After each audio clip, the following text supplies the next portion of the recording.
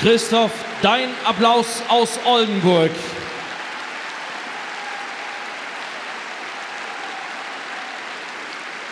Ballantines und unser, unser Bronzemedaillengewinner der Weltreiterspiele in Kentucky, Christoph Koschel.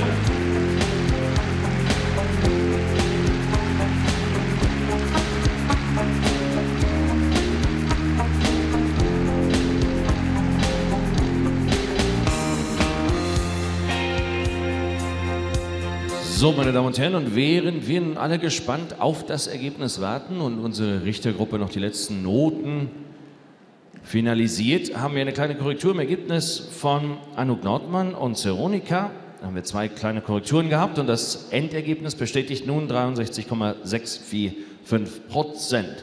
We had some slight changes in the result of Anouk Nordmann and Veronika. The final score now confirmed as 63.645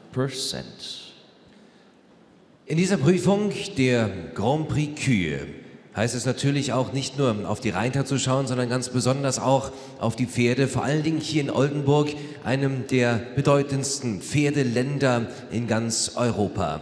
Das beste Oldenburger Pferd wird in dieser Prüfung ganz besonders geehrt werden. Die Pferde des Verbandes der Züchter des Oldenburger Pferdes mit dem Kennzeichen OLD oder die Springpferde ja OS sind führend im internationalen Spitzensport.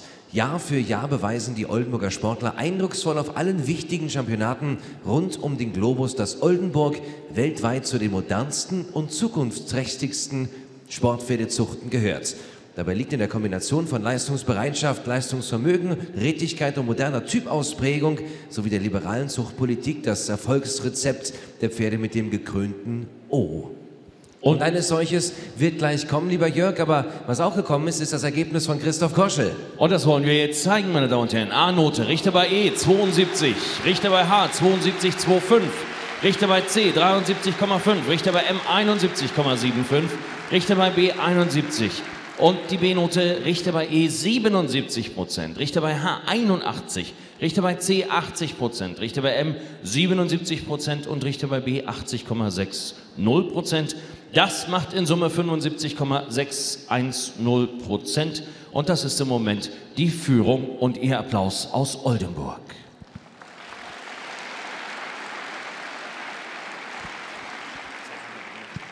So, the preliminary result of Christoph Koschel and Ballantines currently culminates to 75.610%. And of course, we are waiting for the confirmation of that result. Als nächstes haben wir eine Reiterin aus Großbritannien, die schon seit vielen, vielen Jahren im Sattel sitzt, schon bei den Junioren